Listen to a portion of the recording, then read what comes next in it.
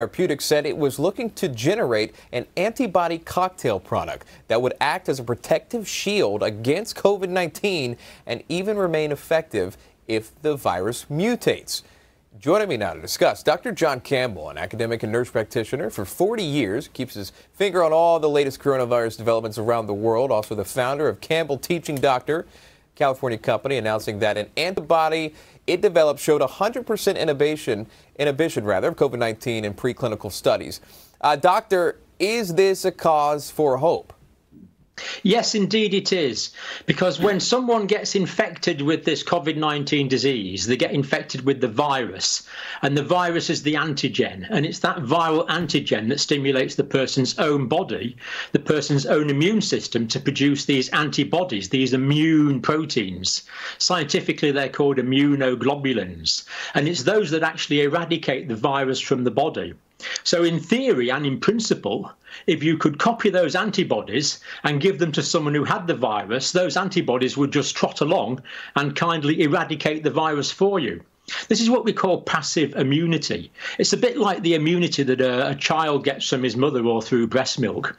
It's immunity that you enjoy, but you don't have to make it yourself. So it could work, but there are many practical difficulties ahead, and it's not going to be straightforward. Now, the particular treatment they're working on is called monoclonal antibodies. And these this means that all of the antibodies are produced by a clone cell. You've probably seen clones on science fiction movies where everyone's the same. And these cells are the same, they're all the same, so they should produce all of these antibodies that are the same, these monoclonal antibodies. And you then collect those up and you inject them. But there's lots of problems with that because these antibodies are such complicated proteins, we can't synthesize them in the lab. They can only be made by other living things. So they're made by tissue cultures, complicated tissue cultures, and typically they're only made in fairly small amounts. And they can be very expensive as well. Now, if this company, I believe in, in uh, San Diego, has developed a way to do this at scale, and cheaply, then it's a complete game changer. Yeah. But I'm not sure that is yet the case. I want to jump in real quick here. Herd immunity, um, something we hear a lot of when you when you need it, when you're fighting off other viruses. Um, but specifically, we don't have that here. Uh, we're not out and about, at least for the for the majority of us here. Um, is the lack of herd immunity a cause for concern, doctor? Absolutely, it is. Now, there's two sorts of immunity really. There's the individual immunity that i will enjoy if i've been exposed to the virus or i've been exposed to a vaccine. But then there's the community of the whole population. And that's what this herd immunity is. It's the community it's the immunity in the whole population. And this happens when people are exposed to the virus and many individuals in the population will make the antibody and therefore we believe to be immune, although there's still some debate about that. But I am expecting people who've had this infection, the majority of them to be immune for a year or 18 months, but we're open to further information on that.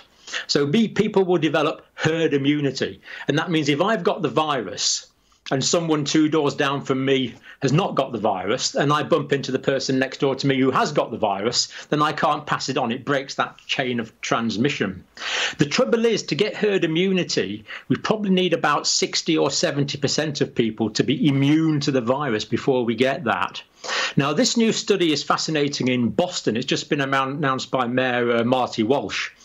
And what they did was they uh, took blood from 750 people and they looked for the presence of the antibodies using quite sophisticated laboratory techniques. And what they actually found out was that a relatively small proportion, I think it was only 9.9% of people, actually had immunity to the virus. So, in other words, that means that 90% of people did not have immunity to the virus.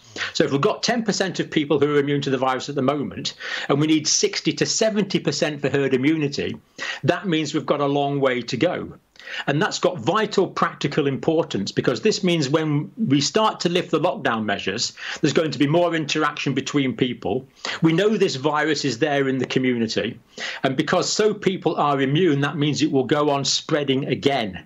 And there's a big chance of a second wave as a result of that because we don't yet have herd immunity. Me, These numbers are disappointingly small, but it's where we're at at the moment. Let me jump in really quick. I don't have much time left with you, but I wanted to get your thoughts since I have you here on Moderna's pro, uh, process and progress here on a vaccine. In the early stages, we're told from reports I've read, but it seems to be promising. What have you heard about Moderna and their vaccine, though ways away? Well, I believe this is part of warp speed, isn't it? This this desire to make a vaccine really quickly. But I think what we have to remember that the warp drive is science fiction. It can take quite a lot more time than we think.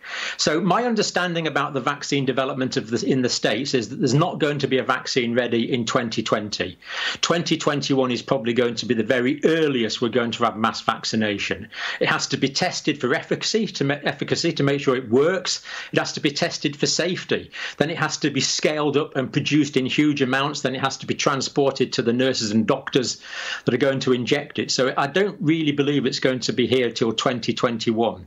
There's about 50 or 60 promising vaccination programs going on around the world at the moment. Different people developing vaccines. In my country, in Oxford, there's one that's reasonably well advanced as well. And quite a lot of other countries have got their own vaccine.